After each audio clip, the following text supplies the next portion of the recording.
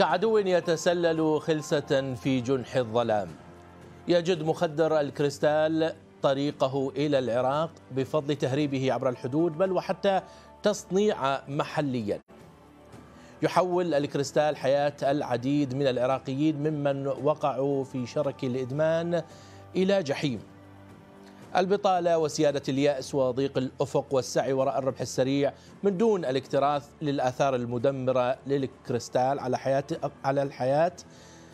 هذه كلها أسباب من بين عدة أخرى تفسر انتشار الكبير رغم الخطط والبرامج التي تعلن عنها سلطات مكافحة المخدرات في العراق بين فترة وأخرى.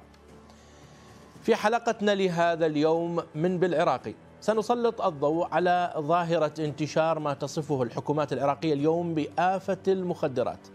لنناقش الأسباب ونحاول أن نجد معالجات ووسائل للتصدي. خليكم يعني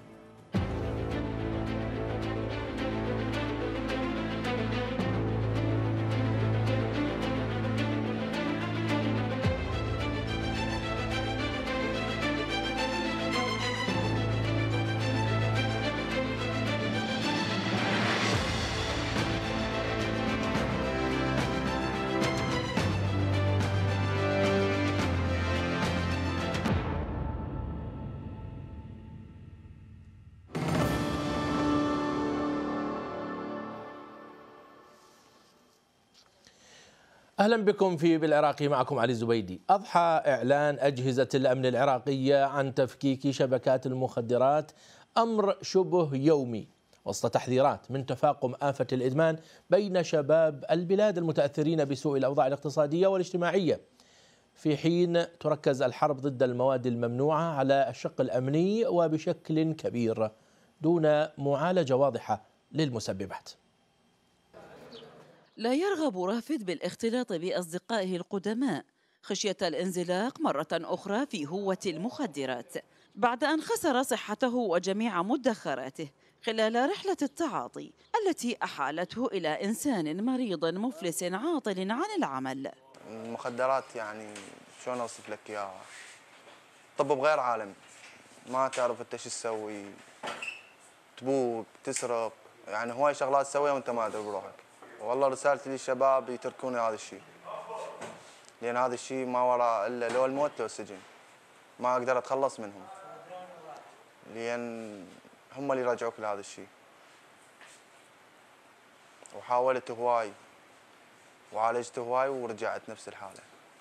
وترد المخدرات إلى العراق من دول الجوار عبر الحدود البرية والبحرية في البصرة سيما شط العرب. ومن البصرة يتم تصدير المخدرات لبقية المحافظات العراقية. محافظة البصرة أعتقد في كثير ضمن المسح العالمي. آه، المسح العراقي اللي ظهر حول نسبة المخدرات في المحافظات ظهرت في بعض جوانب المخدرات أنه البصرة هي أولوية في الاستهلاك وبالتجارة وكممر. آه، مثل ما تعرفين هي المحافظة اللي هي الوحيدة اللي بها ممر. ومائي ومنفذ بحري وهذا يساعدها على أن يكون ممر ومستهلك لهذه المادة المخدرة ظهرة الكريستال هي نسبة عالية في محافظة البصرة ورغم نجاح معظم الجهود لتقليص تجارة المخدرات وتعاطيها تحاول السلطات الأمنية تكثيف عمليات إلقاء القبض على الرغم من كون المهربين يلجؤون إلى تنفيذ خطط بديلة تحصن دفاعاتهم ضد سلطة القانون. قامت قيادة شرطة البصرة بحملة كبرى لتنفيذ أوامر القبض آه، داخل المحافظة من شمالها حتى جنوبها. ركزنا على مكافحة المخدرات حيث تم تنفيذ 183 أمر قبض والعمليات جارية لحد هذا اليوم. وتؤكد وزارة الداخلية أن العام الحالي 2022 شهد إلقاء القبض على أكثر من 6800 متهم ومتاجر بالمخدرات. لبرنامج بالعراقي نجاح العابدي الحرة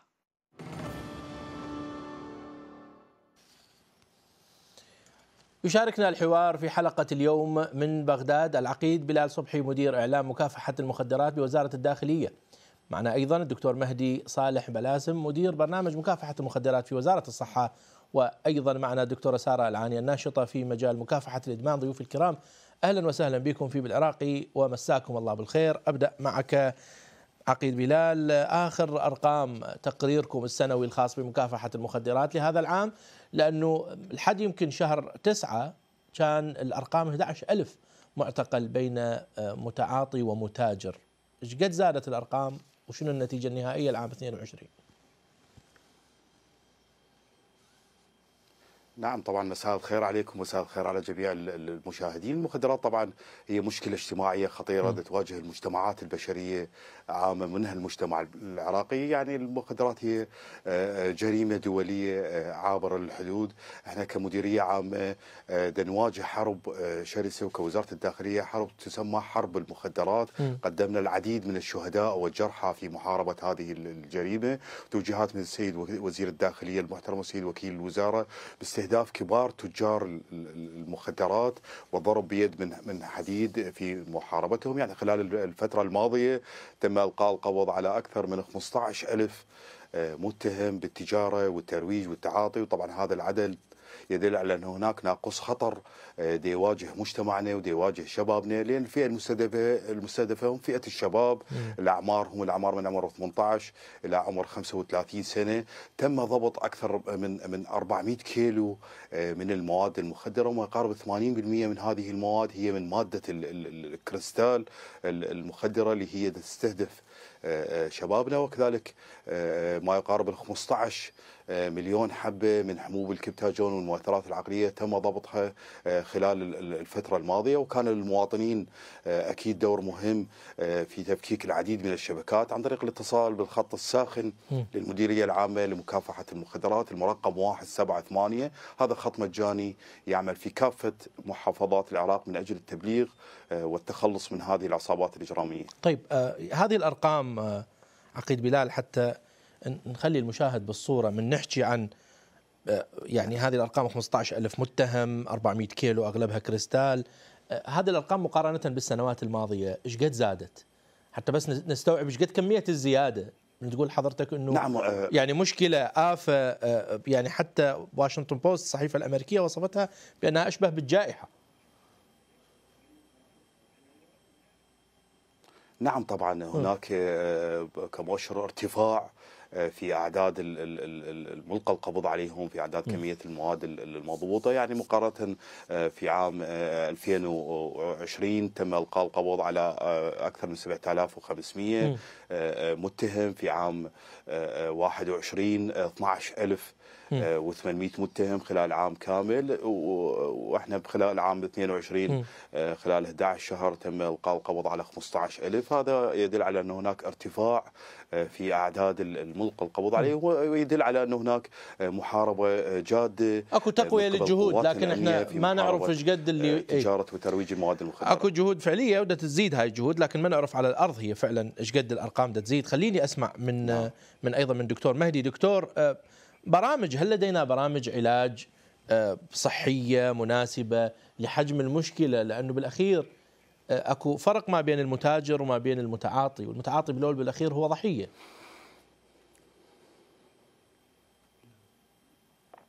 نعم البلد يعني يواجه هذه الآفة الكبيرة.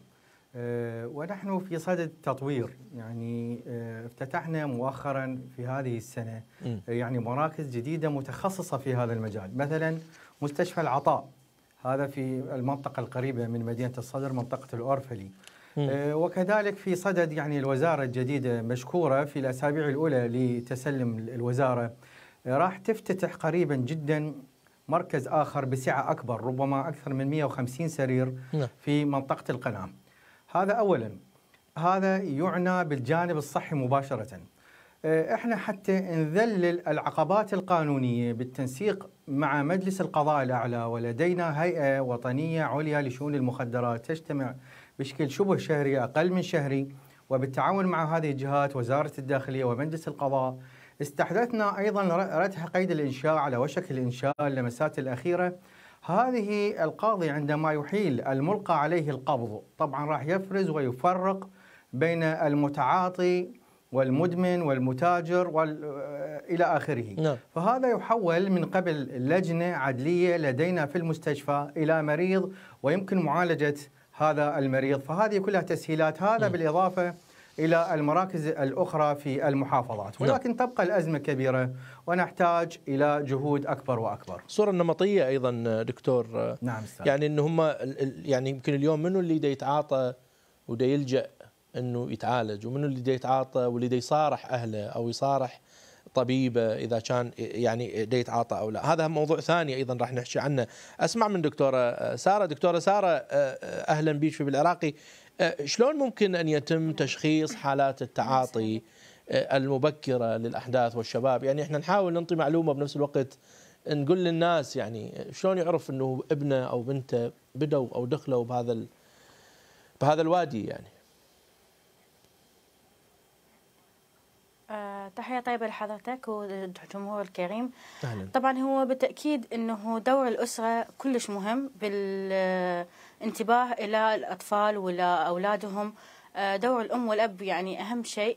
آه، الآباء والأمهات يلاحظون تغيرات على أولادهم منها فرط الحركة منها تكون يعني آه، خلينا نقول الحركة السريعة وغيرها من من هذه الأمور. إنه يكون الأهل يعني يوعون ويكون أكثر حرص على أولادهم، إحنا نلاحظ آه، دورنا إحنا حاليا كمنظمات يعني بتوجه نحو الاسر، نوجههم إنه آه، يكونون يعني يدعمون أولادهم ويشوفونهم وتكون تبعوهم في داخل الأسرة.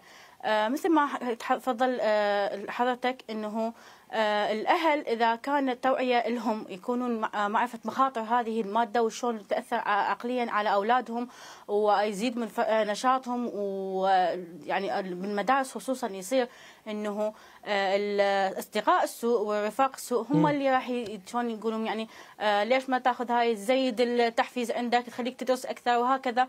بالتالي راح يقعون بهذا الفخ. يعني إحنا آه، الأولاد راح يكونون تحت ضغط آه، مثلا اللي بالسادس الإعدادي حيكونون هذه تحت ضغوط يريدون يطلعون نتائج أحسن. فبالتالي آه، ياخذون يتعاطون وبالتالي حيصيرون مدمنين. وهذا دور الأهل إنه آه، يوجهون أولادهم ويسعون إنه يكونون دائما قريبين لهم آه، كذلك آه، وزارة الصحة والدفاع آه، يعني ما يقصرون بهذا الشيء آه، أكو د- حملات توعية وغيرها آه، ت- يكون بالمؤسسات الصحية آه، ال- بالوزارة التعليم التعليم نعم. ووزارات التربية هذه يكون كلها آه، تدعم آه، تفهم الأسر بضرورة الانتباه إلى أولادهم وخطورة هذه الآفة عليهم. طيب طيب آه، أرجع لسيادة العقيد أيضا آه، يعني يطرح هذا السؤال الناس آه، تخاف مرات تقول لك أنا إذا أبلغ أو إذا أنا عندي آه، متعاطي ماذا يحصل بعد آه، انتقال المتعاطي؟ لأن المتعاطي هل عندنا إحنا بالعراق كوزارة الداخلية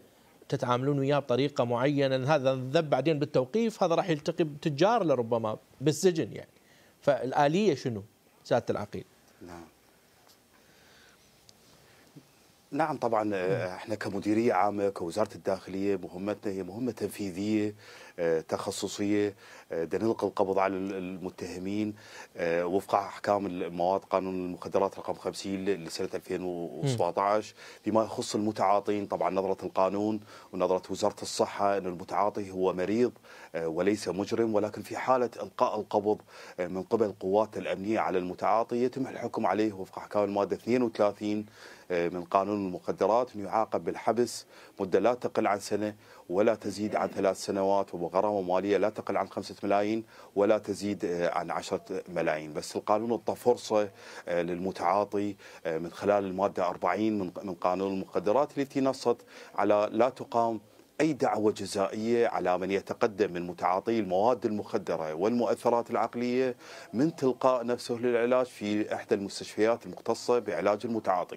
يعني أي شخص تورط أو سرج بالتعاطي يقدر يروح يتعالج آه، وبهاي اللحظة لا تقام أي دعوة جزائية عليه. وطبعا حاليا آه، حقيقة قلة ال- ال- ال- الإمكانيات وقلة المواقف لدى المديرية العامة فدي يتم آه، إيداع ال- ال- ال- المتهمين آه، حتى في مراكز الشرطة. فدي يتم اختلاط آه، التاجر مع المتعاطي مع بقية المتهمين بالقضايا الأخرى. طبعا هذا يسبب إشكال عندنا ولكن بتوجيهات السيد الوزير هناك سوف تنشئ مواقف أكبر للاستيعاب. ولكن إحنا ما نريد هؤلاء شبابنا يتورطون ويستدرجون بالتعاطي مثل ما أشارت الدكتورة إنه الوقاية هي خير من العلاج يعني نعم. لازم الجميع يتعاون إحنا ما نريد نزج شبابنا بالسجون لازم نوعيهم ونثقفهم عن مخاطر آفة المخدرات. هسه نجي على التوعية أيضا والتثقيف شكرا سيادة العقيد خلوني أروح فاصل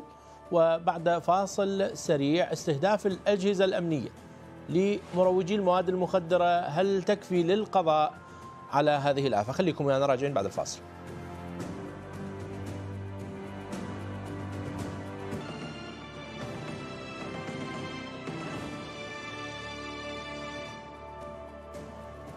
أهلا بكم مرة أخرى. كثفت محافظة الديوانية عملياتها الأمنية لملاحقة واعتقال مطلوبين للقضاء. أسفرت العمليات خلال شهر واحد على إلقاء القبض على أكثر من ألفي مطلوب بتهم تجارة المخدرات وقضايا جنائية أخرى. تابع التقرير. الفريق التكتيكي من قوات النخبة في وزارة الداخلية ينتشر بمعداته القتالية في شوارع الديوانية إلى جانب قوة المهمات سوات على شكل نقاط تفتيش جوالة وأخرى ثابتة في تقاطعات الطرق والأحياء بحثا عن مطلوبين للقضاء.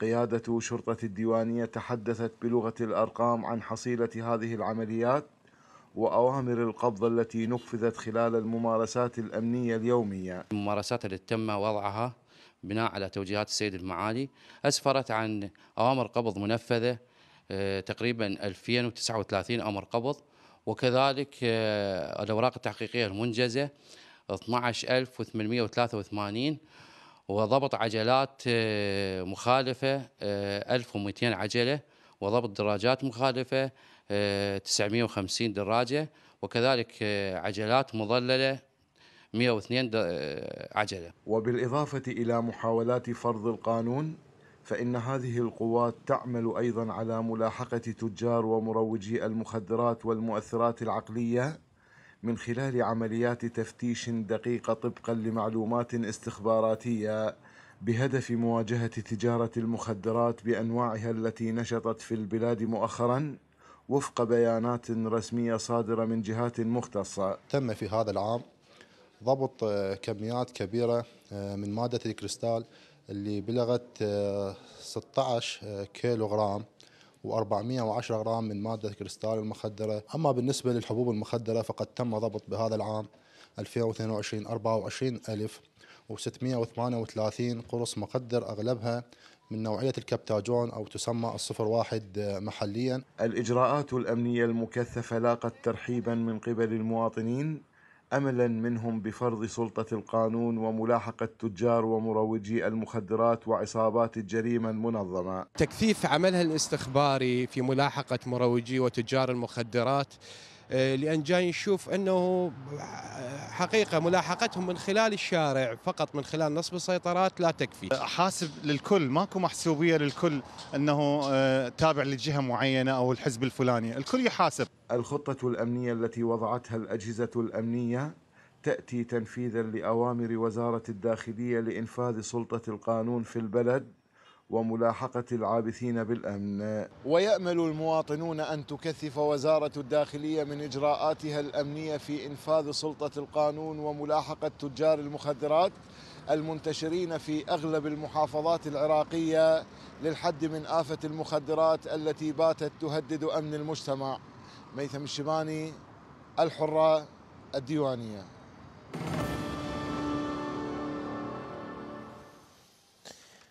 طيب نعود لمواصلة الحوار مع ضيوفنا الكرام وأعود لك سيادة العقيد بلال صبحي. أكثر المناطق التي تشهد انتشار للمخدرات تؤكدون المعلومة أن البصرة مناطق في الجنوب. لكن أيضا أسأل أريد تقول لنا المناطق وأريد أسأل وين يتم التعاطي من خلال معلوماتكم؟ هل يتم بالشارع وين مقاهي وين تصير؟ حالات. نعم طبعا إحنا كمديرية عامه نملك قاعدة بيانات متكاملة عن ما هي أكثر المواد انتشارا وما هي أكثر المحافظات المستهدفة. طبعا هي الم- المحافظات الحدودية هي ال- ال- المحافظات ال- ال- المستهدفة ولكن هذه العصابات آه، تستهدف كل محافظات العراق. يعني حاليا آه، لا توجد هناك محافظة خالية آه، من تجارة وترويج وتعاطي ال- المواد المخدرة. كل المحافظات مستهدفة كل طبقات وفئات ال- آه، ال- ال- المجتمع م- مستهدفة. تستهدف هذه العصابات الجميع.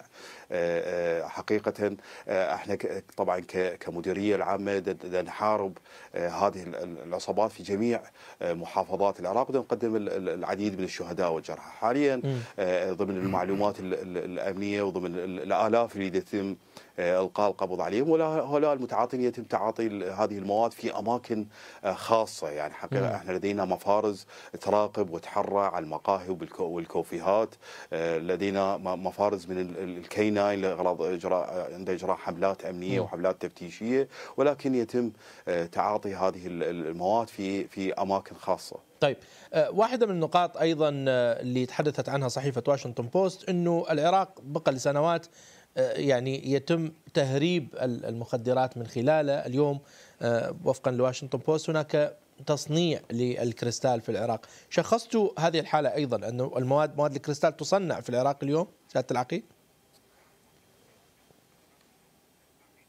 لا هو ال- ال- العراق كان قبل 2003 ممر آه، ومعبر لهذه المواد وبعد ال 2003 ولحد الآن هو العراق ممر ومعبر ولكن حقيقة آه، فيما يخص الزراعة أو الصناعة يعني ضمن أحكام الم- المادة 27 آه، من قانون المخدرات يعاقب بالإعدام أو السجن المؤبد في حالة الزراعة أو الصناعة والاستيراد والتصدير.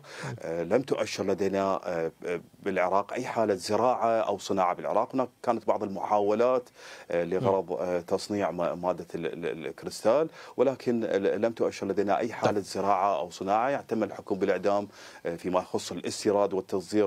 فقط. ولم تؤشر لدى وزارة الداخلية ولدى جهاز الأمن الوطني أو جهاز المخابرات. حالة زراعة آه، أو صناعة بالعراق. لم تثبت. طيب دكتور مهدي أسأل الآن على مسألة التوعية مسألة أنه آه، أكو آه، كثير. إذا ما قلنا كل اللي يتعاطى هو يخاف يروح يحكي ويقول يابا أنا تعاطيت.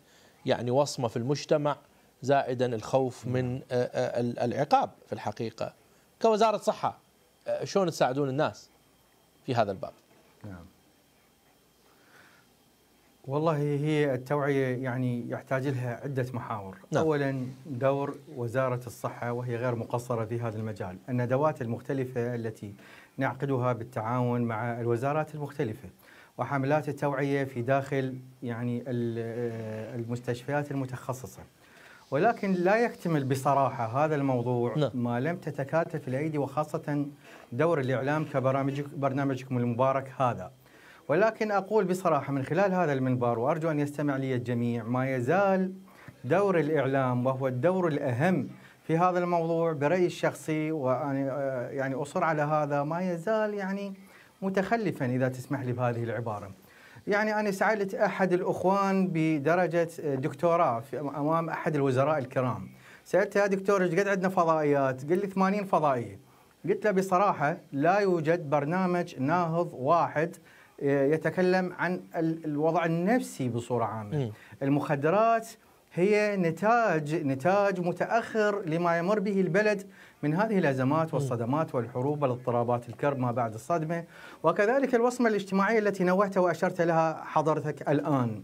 يعني لدينا الوصمة عالية، أنا شلون راجع الطبيب النفسي؟ قابل الآن مخبل مثلا. تمام آه هذا اولا. ولذلك ترى ترى هناك فضائيات لناس يعني بصراحة دجالين نقولها بصراحة وبحرية من خلال هذا المنبر.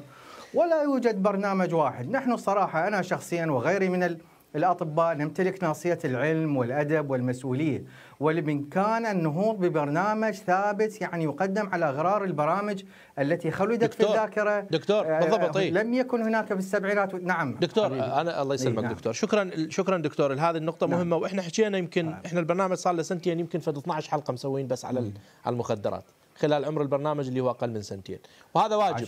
زين دكتور مهدي أنا سؤالي مو المفروض أيضا يبدي الموضوع التوعية من المدرسة؟ قبل المدرسة إذا واحد شموا ريحه جيجارة ها الصوت انقطع راح راح الصوت آه راح الصوت على دكتور مهدي. هسه هم نرجع له. بس خليني أروح الدكتورة سارة. ما ما ما اختلف السؤال. دكتورة سارة قبل بالمدارس إذا ريحة جيجارة الواحد يشتمها الدنيا تنقلب. البيت اذا إذا يمكن بالشارع الجيجارة يلزمون صحيح. الولد ما أعرف شو يسوي له. هسه إحنا ما نريد الناس تنضرب. بس التوعية أيضا تبدأ بالمدارس مو صحيح؟ صحيح أكيد. آه أنا أتفق ويا كلامك أستاذ. آه المشكلة حاليا اللي دا يصير آه التفكك الأسرة بحد ذاتها والتوجه الأسرة لأشياء أخرى وبدا بالإضافة إلى إنه صار دور الأهل إنه مجرد التوفير يعني خلينا نقول الاحتياجات الأساسية للمنزل بسبب مم. العطالة وارتفاع الدخل وغيرها من الأمور. والوضع الوضع السياسي بالبلد. كلهم إي يعني كل كل الأمور تكابلت على العائلة الواحدة فأصبحت بعيدين عن أولادهم بعيدين عن آه، مجرد بس يتبعوهم بالدراسة أو شيء ثاني يعني. هذه المواضيع كلها ابتعدوا عنها. أيضا بالتربية يعني آه، المدارس يعني خلينا نقول مثل ما تقول حضرتك إنه إذا كان جيجاره أو فد شيء يحاسبون الطفل أو هاي. حاليا الوسائل ال- توعية الطفل على أشياء خصوصا بالإنترنت واليوتيوب خلته يعرف طرق عديدة شلون يكون يعني آه، يتفادى إنه يعني خلينا نقول مثل يقول واحد يكشفه من الأهل أو فد شيء فيحتاج إنه نوعي الأهل بحد ذاتهم كدور كدور منظمات أو وزارة الصحة ووزاره الداخلية إنه إنه نستهدف الأهل نوعيهم بالمخاطر اللي تصير لأولادهم. وهم خلينا نقول في غفلة. إحنا مثل ما قلت حضرتك الوضع السياسي وغيرها من الأمور العطالة والبطالة والتدخل وغيرها من الأمور. يعني والوضع الداير مداير بال آه، بالبلدان الح- المحيطة يعني. كلها لها دخل أثر على العائلة اثقلت ق- كاهلها فما تقدر إنه تكون آه، تساوي بين الأمور يعني إنه تكون مسيطرة على الأولاد وبذلك مسيطرة على الدخل وغيرها. يعني نكون تس... مساواة بين هذه الأشياء شوية انعدمت يعني عند الأهل. طيب خليني خليني أرجع للدكتور مهدي. دكتور مهدي تسمعني الآن. آه، سؤالي كان دكتور مهدي على نقطة مهمة وهي نعم، نقطة المدارس والتوعية في المدارس. لأنه حضرتك ذكرت نقاط مهمة. لكن أكو دور آه، آخر أنه ال- الشاب إذا هو بالطفولة يتعلم أنه يابا ما تاخذ شيء من الناس ما تحط أي حباية بحلقك ما تشوف أي شيء وتتعاون يعني ما هي هذا شلون تبدي؟ نعم.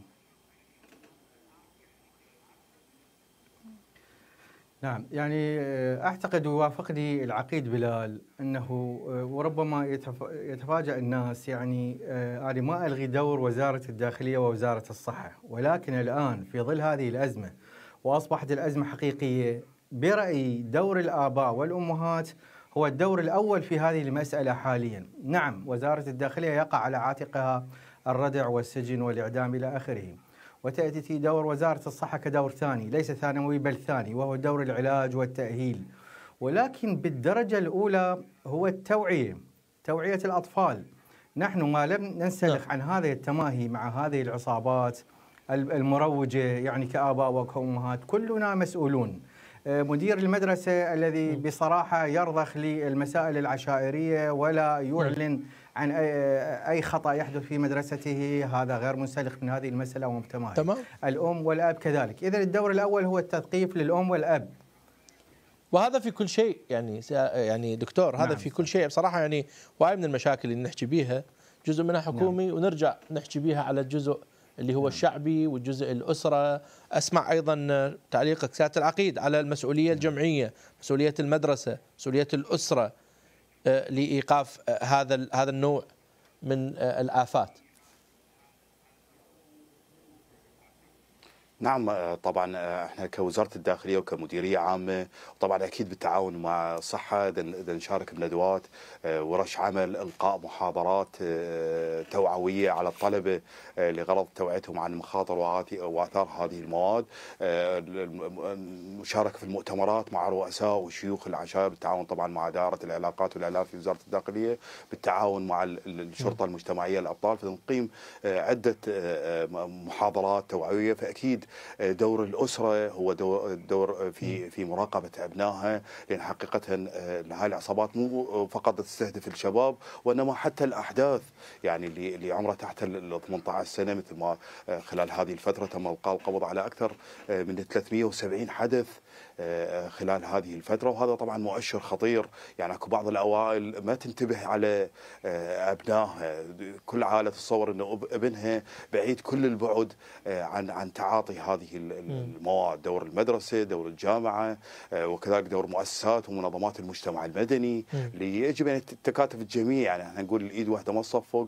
لازم الكل تتعاون في مجال توعية المواطنين عن آثار ومخاطر هذه المواد. عندكم تعاون أيضا سيادة العقيد مع هذه الوزارات الوزارات اللي ذكرتها ببرامج توعوية يعني من باب التوعية الصحية من جهة وأيضا توعية بالعقوبات وتوعية بالآثار اللي ممكن تدفع يعني الشاب بالاخير هم يخاف يعني أو أو الطفل يعني.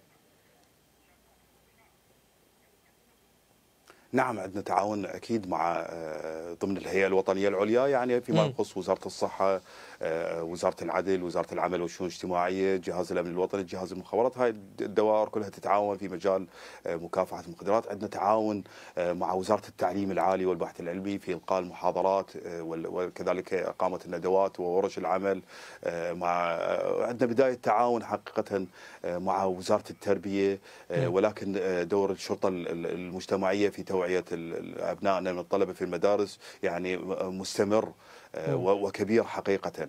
يعني فبدنا نعمل بكل الجهات بالتعاون مع كل الوزارات لأن إحنا مثل ما أشرنا إنه الوقاية هي خير من العلاج. يجب ان ان ان نحاول نحصن مجتمعنا ونحصن شبابنا عن مخاطر المخدرات. دكتورة سارة مواقع التواصل الاجتماعي اليوم دائما ما نصفها بالبرنامج بسلاح ذو حدين ممكن الناس تتعلم بها تتثقف بها تتواصل بها وممكن الناس تذهب فيها بطرق يعني مظلمة. شلون تشوفين دور هذه الوسائل اليوم في التعظيم من الأزمة أو في حل الأزمة؟ مثل ما تفضلت حضرتك إنه خلينا نقول ذي حدين. إحنا نقول إنه يعني ممكن إنه تكون تساعد في إنه زيادة التوعية. مثل ما تفضل الدكتور مهدي قال إنه يحتاجون إلى دور الإعلام ووسائل الإنترنت يكون أكثر من هذا. يعني إنه يكون مثلا برنامج متخصص توعية للأهل وللأطفال. ممكن يكون يعني خلينا نقول توعيتهم إنه بالإنترنت وهذا التفاصيل إنه أنت استخدم الإنترنت بالصورة الصحيحة حتى يبعدهم عن ال خلينا نقول الشيء السلبي. يمكن يكون خلينا نقول استدراج الأشخاص عن طريق الإنترنت وبعدين شوي شوي يقع بهذا الفخ بفخ المخدرات بالتالي بيصير يتحول إلى متعاطي. ممكن المتعاطي يتحول إلى تاجر همنا مستقبلا. اذا انزج بالسجن ممكن إنه أيضا يكون يعني يخرج مجرم مثلا أو يجوز ما يلقى العلاج المناسب. هذه اللي نكون وسائل الإنترنت والتواصل هي اللي خلينا نقول صدق بين حدين. آه ممكن إنه يقعون فيها وممكن إنه تكون هي سبب في توعيتهم وخلاصهم من الآفة هاي. آه دائما الوسائل الإنترنت يكون يعني بتتوجه توجيه التوجيه للأشخاص. فإحنا نسعى إن نكون توجيههم للشيء اللي يفيدهم مو اللي يضرهم. الإعلام أيضا هنا يعني تسليط الضوء على هذا الشيء ضروري ومهم جدا. حتى خلينا نقول الفئات الصغيرة للكبيرة إحنا يعني عموما هم ما يتابعون الأخبار يعني شو اسمه يعني يتابعون أشياء ثانية. يعني الصغار بالعمر خصوصا يعني ما حيتابعون الأخبار ولا هاي حيتابعون البرامج مثلا معين أهل أهل يقولون تعالوا قعدوا اتفرجوا على هذا البرنامج. م. هذا خلينا نقول برنامج توعوي لمخاطر هذا الشيء. هو اللي حيكون آه يعني يكون الداعم لخلاص هذه المجتمع من هذه الآفة. م. يعني وهذا البرنامج التوعوي توعوي أصلا المفروض يكون بصيغة يفهمها الجميع ويحبها الجميع مو لازم يكون بطريقة جامدة يمكن مو كل الناس تتفرجها أكيد أكيد طيب. أكيد طبعا أكيد هي. تكون مفهومة من هذه الأدوات إيه اللي مفهومة تست... للصغير وللكبير اللي يعني يستخدمها كل العالم دكتورة سارة. يعني إحنا مو أول بلد راح يحارب المخدرات ومو أول بلد شباب بدا يعاني من هاي المشكلة. خلوني أروح فاصل. وبعد الفاصل برامج رعاية واهتمام وفق خطط مدروسة حلول على طاولة المسؤولين لمعالجة آفة المخدرات. خليكم ويانا يعني.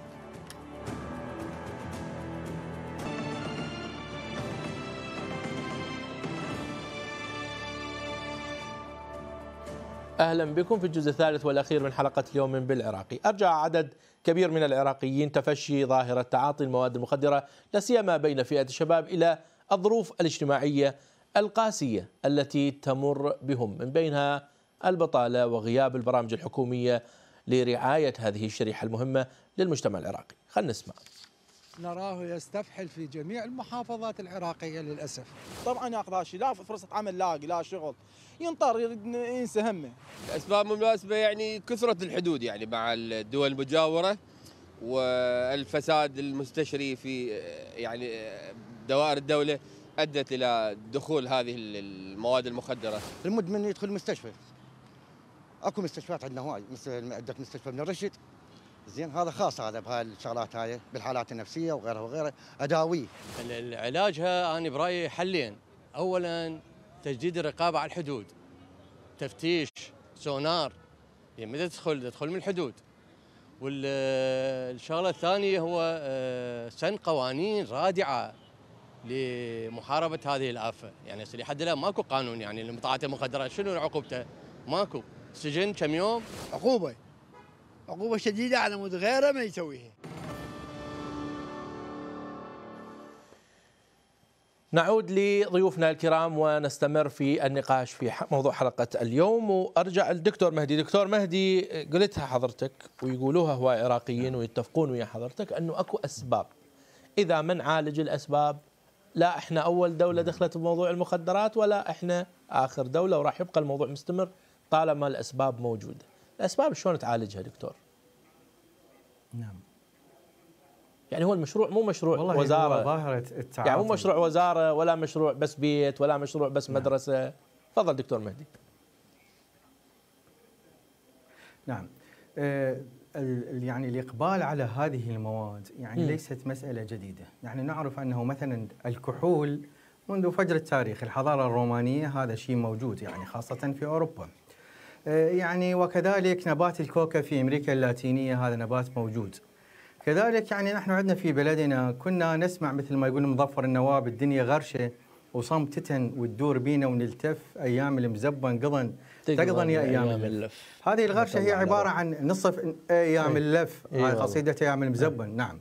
آه الغرشة هي عبارة عن نصف كرة. هذا جوز الهند. كانت وتوصل بقصبة ونسمع من أجدادنا انه كانت تدخن في الخمسينات والستينات من القرن الماضي. فما عدا مما بدأ وتفشى الإدمان لدينا وكذلك في أوروبا حتى اضطرت بعض الدول الكبرى المتقدمة إلى جعل مثلا المخدرات في هولندا أماكن مغلقة وبرعاية القانون ويستطيع الشاب حتى آه، يأتي ويتعاطى ولكن ضمن القانون لدفع الضرر الأكبر بالضرر الاصغر وكذلك أمريكا اللاتينية. يعني إحنا قلنا الكوكا موجود. إذا ثمة تحول نفسي واجتماعي يجب الانتباه له. يعني نحن إذا نقتصر على موضوع البطالة والصدمات والحروب هذه لا تفي بالغرض لتفسير هذه الظاهرة. يبدو أن هناك انتقال وهناك تحول نفسي واجتماعي. برأيي أنه أستطيع أن أسميه وأطلق عليه عنوان هو الجانب الأبوي بالموضوع. آه، في تلك الأيام كان شيخ العشيرة والأم والأب والمضيف إلى آخره والرقابة اللصيقة هي التي تؤدي إلى الردع والمنع والتثقيف. الآن أعتقد وفي ظل تطور وسائل التواصل وهذا التفكك العائلي إذا صح التعبير وعدم الرقابة والانشغال وموجات الإباحة وموجات إلى آخره كلها عوامل نفسية واجتماعية يضاف إليها البطالة والحروب والصدمات هذه يجب أن تعالج, تعالج يعني هولستيك فيو مثل ما نقول باللغة الإنجليزية يعني كليا يعني بنظرة عامة وشاملة من قبل علماء نفس ويجب أن ننتبه لهذه الحالة. طيب هذا هو رأيي بالموضوع شكرا دكتور مهدي. سياده العقيد. والموضوع مثل ما قلنا أكثر من مرة هو ما مرتبط بس بالعراق مرتبط بكذا دولة بجوار العراق أيضا. اتفاقياتكم كوزارة داخليه مع هذه الدول آه، آه، يعني أكو شحنات تيجي بالأطنان. آه، شلون تنسقون جهودكم مع هذه الدول وإجراءاتكم أيضا على الحدود؟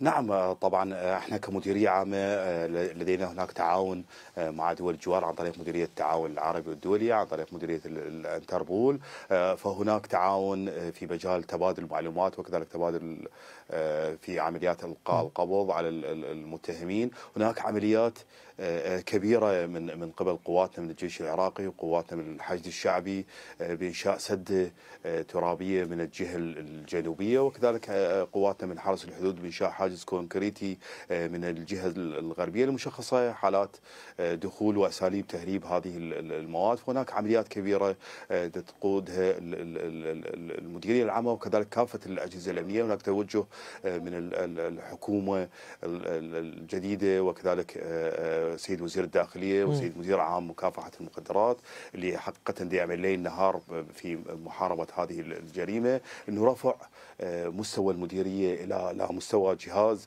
مساوي لجهاز مكافحة الأرهاب للمخدرات والأرهاب هم وجهان. آه، لعملة واحدة. هناك دائما اجتماعات دورية آه، ضمن أعمال الهيئة الوطنية العليا لمكافحة المخدرات. تكون هذه الاجتماعات بشكل نعم. دوري. ومشاركة كافة الجهات الأمنية لوضع الحدود اللازمة لمكافحة ظاهرة تعاطي المخدرات. بدأنا كوزارة الداخلية بالفحص العشوائي لمنتسبي الوزارة. فهناك عمل آه، متواصل وعمل جاد من أجل التخلص من هذه الآفة. واحدة من الإحصائيات المديرية مكافحة المخدرات أيضا كشفت ما وصفته بالمؤشر الخطير سيادة العقيد بشأن تعاطي النساء للمخدرات، هل من إحصائيات حديثة حول تعاطي النساء للمخدرات؟ شنو الأسباب من وجهة نظركم أيضا؟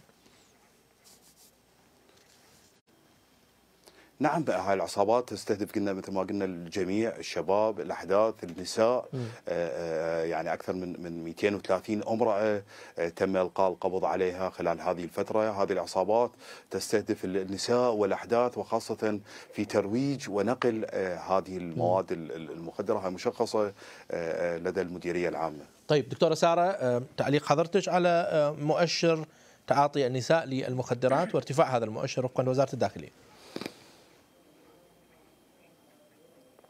آه، صراحة هو هواية أسباب يعني إنه ارتفاع عدد الإناث منها خلينا نقول رفاق السوق ومنها التفكك الأسري المشاكل العائلية آه، خلينا نقول الفشل في الدراسة المشاكل العاطفية. كلها هذا أسباب ممكن إنه تأذى لها آه، في ارتفاع عدد النساء اللي يتعاطون منها من مثلا الابتزاز الإلكتروني وغيرها. العديد من هذا النقاط اللي أنا ذكرتها تكون سبب في أنه تدفع النساء إلى آه، لا تعاطي المخدرات ومنها خلينا نقول المشاكل الطلاق وغيرها آه، العنف الاسري كلهن ممكن إنه تزيد من عدد الإناث اللي يست... اللي يعني يتعاطون على هذه المخدرات أو يكونوا مثل ما قال العقيد نقل لنقل المخدرات أو ل يعني معبر أو يستخدموهم يعني التجار لنقل المخدرات.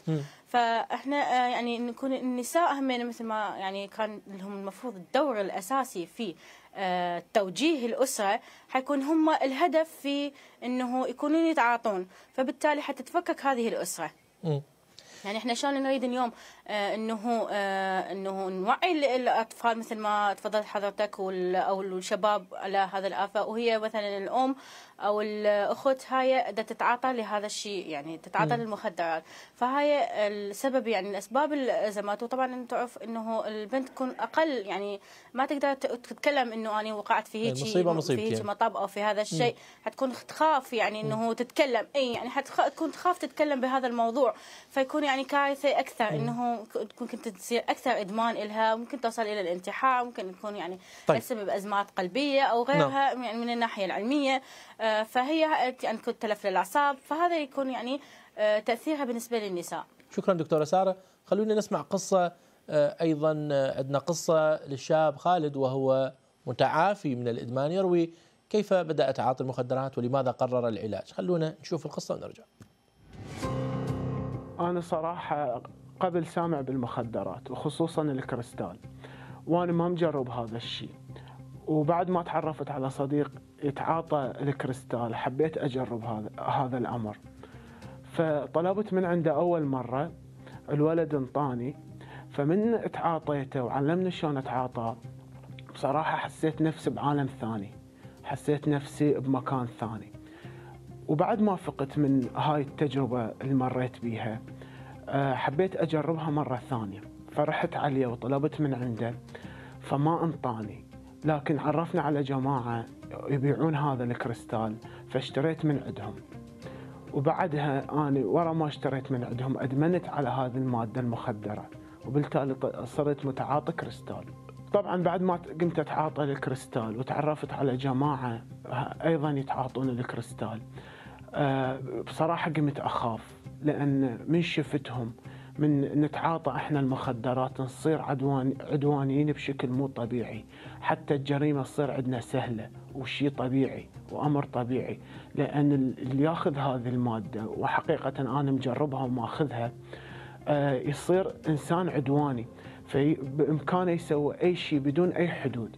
وهذا الشيء بصراحة خلاني أخاف على نفسي وأخاف على نفسي من منهم من هاي الجماعة اللي اعطوني هذا الكريستال وحقيقة الأمر هم أصدقائي لكن حتى هذا الشيء خلاني أخاف من عندهم. أه، حقيقة الأمر المجتمع دائما ينبذ أي شخص متعاطي للمخدرات. أه، وأنا بصراحة انبذت من المجتمع لأن أنا أتعاطى هذه المادة. وبحقيقه الأمر إنه الدولة آه، عندها مراكز لعادة التأهيل وأنا دخلت مركز من هاي المراكز. بالتالي أنا تعافيت الحمد لله والشكر من المخدرات ومن تعاطي المخدرات لكن المجتمع لحد الآن آه، نابذني ومدى يساعدني.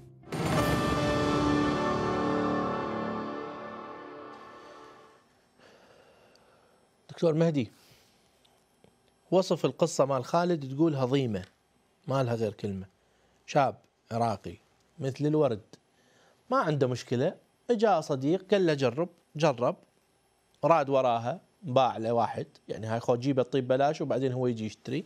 هذا هم طريقة كلاسيكية بكل العالم. زين. يصير إنسان عدواني يقول خالد اللي يتعاطى والجريمة عنده تصير طبيعية. علق لنا دكتور مهدي ليش؟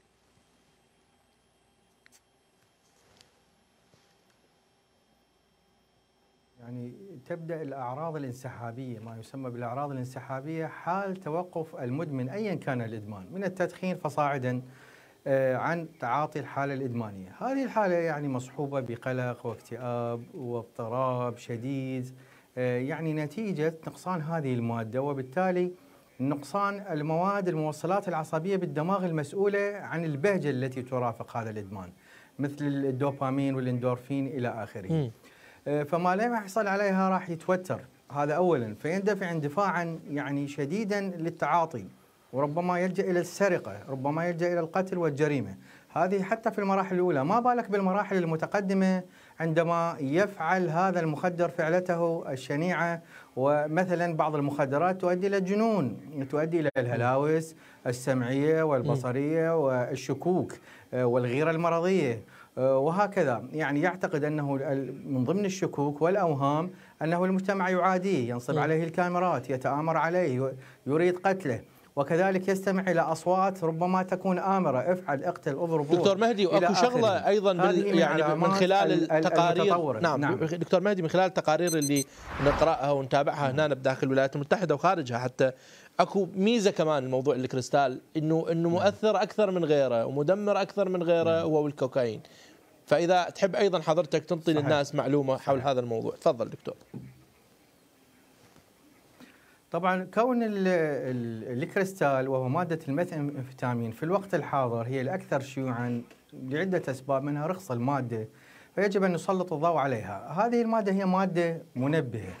مادة منبهة ولكن بطريقة يعني يطول شرحها هي أيضا مادة تساعد على الإدمان وتساعد على الاسترخاء، يعني رغم التناقض بالفكرة العلمية لا أريد أن أدخل في هذا الموضوع. نعم. ولكن بلغة الأرقام يعني هي تصعد الدوبامين وهو موصل عصبي للبهجة والفضول، نحن بدون ال- الدوبامين أقدر أن أ- أقول لك إحنا كائنات زومبي، اذا هو اللي يعطينا البهجة.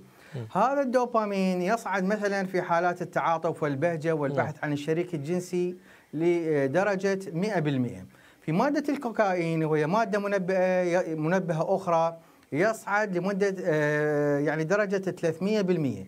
بالكريستال تقول التقارير والبحوث أنه يرتفع الدوبامين 1200% إذا هو مادة شديدة التأثير وحاسمة وتساعد على الإدمان وتحث حثا وتدفع دفعا تجاه الجريمة. فعلا هذه التقارير تقارير عالمية مثل ما تفضلت حضرتك. يعني دكتور مهدي ما يعني عندنا وقت يمكن نسأل به سؤال آخر لكن كل اللي أريد أقوله إنه البحث عن البهجة إذا كان هناك بدائل للبهجة موجودة وطبيعية وتهتم بالناس والمجتمع مستقر على الأقل طبعا. تقل هذه الأرقام. ما نقول تنتهي لكن تقل. السلامة والأمن للعراق والعراقيين. ضيوف الكرام أشكركم. في مشاركتكم في حلقة اليوم كان معنا من بغداد العقيد بلال صبحي مدير إعلام مكافحة المخدرات بوزارة الداخلية. أشكر أيضا الدكتور مهدي صالح بلاسم مدير برنامج مكافحة المخدرات بوزارة الصحة. وأشكر الدكتورة سارة العاني الناشطة في مجال مكافحة الإدمان. الشكر موصول لكم سادتي على طيب المتابعة. انتهت حلقة اليوم من بالعراقي لكن دائما بإذن الله أكو حلقات جديدة من البرنامج. لا تنسون تابعونا على وسائل التواصل الاجتماعي ودائما خليكم ويانا. في أمان الله.